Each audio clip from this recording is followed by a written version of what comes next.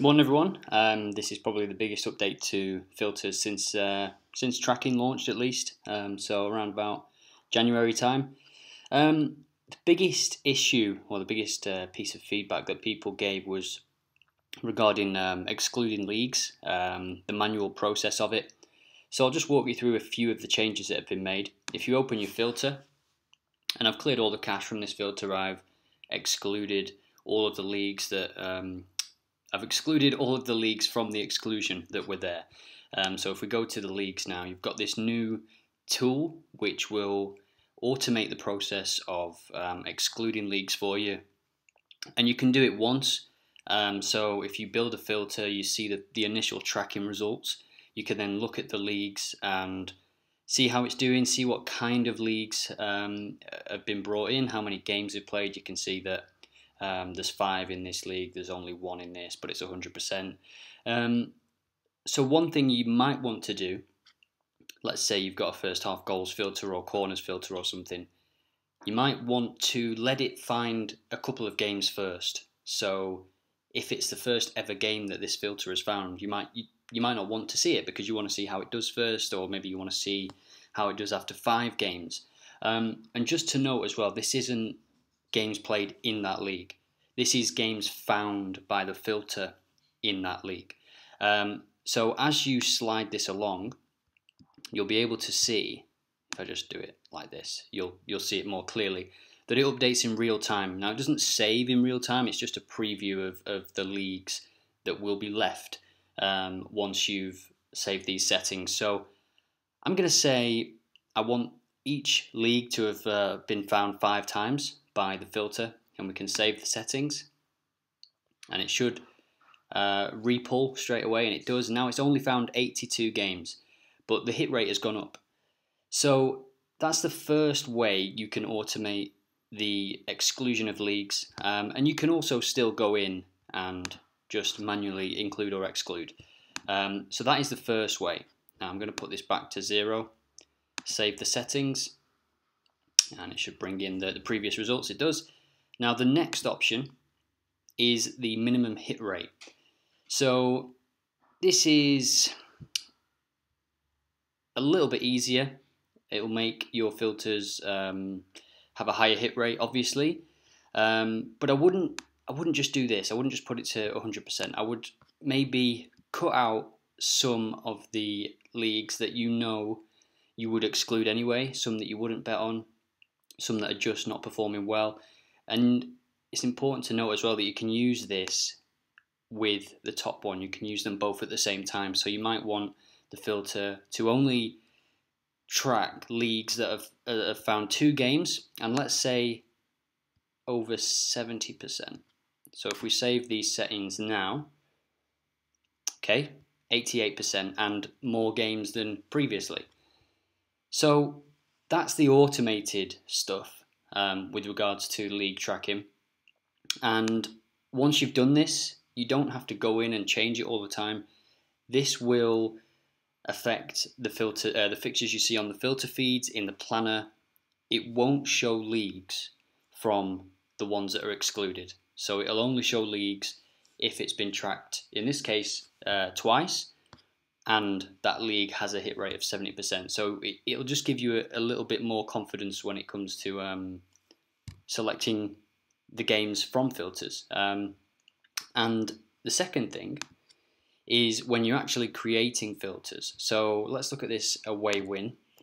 I can't remember the rules on this one, but it's just quite a basic filter um, with 60% hit rate for away wins. And you can see um, the teams have played 15 times or more uh, the away team has won 60% or more on the road, um, and the home team has won no more than 45% of home games. So it's not a bad filter, and the results are just okay.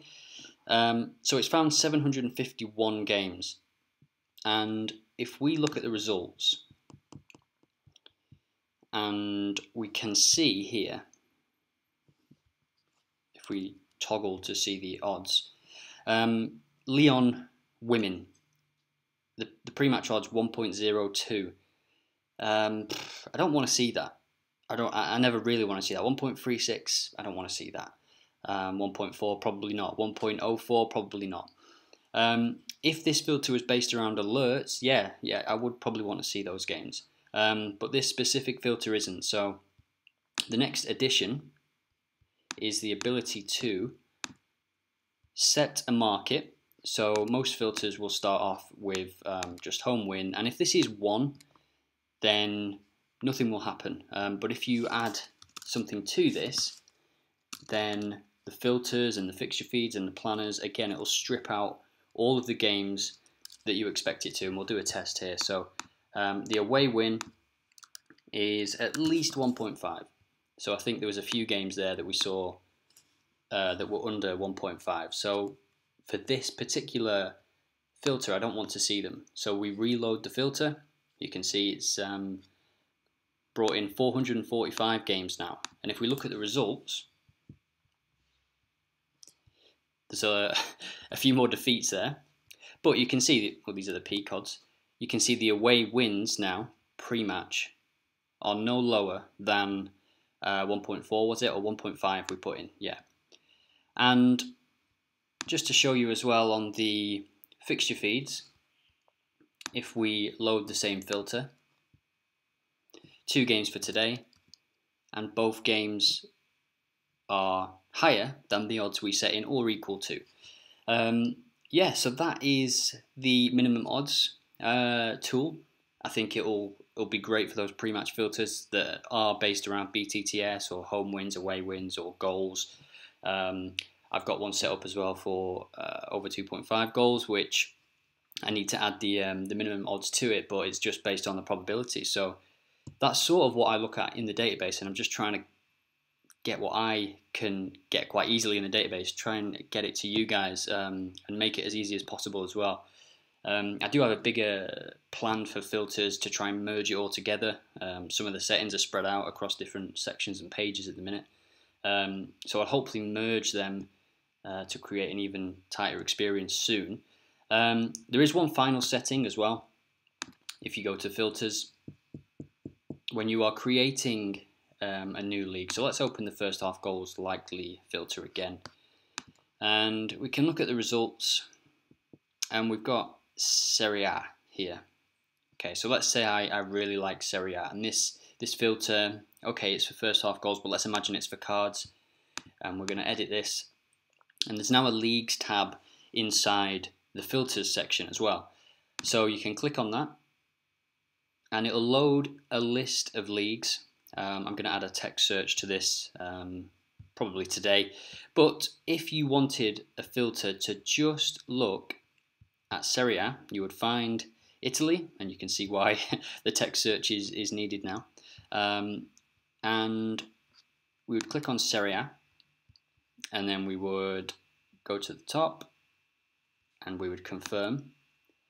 And you can see I've got Serie A here, you can click it to delete it quite easily, and save. So now, what will happen is we will Find that filter again, first half goals likely.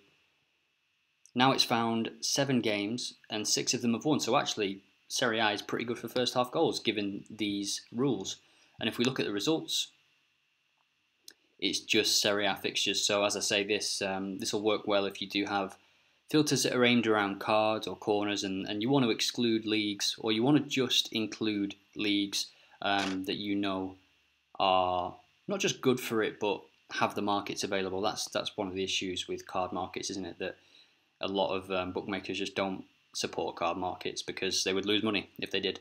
Um, so that's all the new filter settings. Um, as always, give me some uh, feedback on Twitter. There's there's going to be a lot of small updates to it this week, just because that's that's how it works. I launch something big, and then someone will recommend something that can be tweaked and added, and um, yeah, that's just the way it goes. Um, it took a while, but uh, it's it's here now, and um, the odds filtering. I think I think a lot of you will like that, and uh, in general, the filter pace, the, time it takes to get your filter results, has been improved probably two or three times. Um, so yeah, as always, enjoy.